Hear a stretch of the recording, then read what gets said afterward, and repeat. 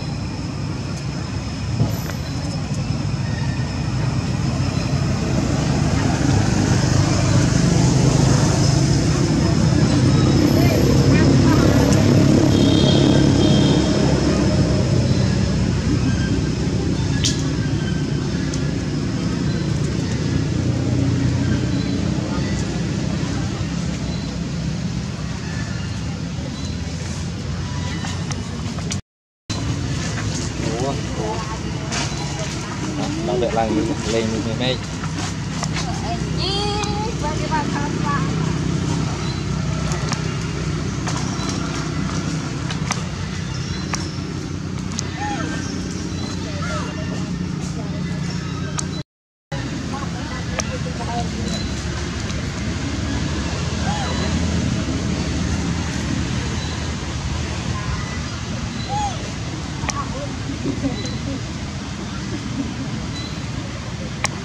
ôi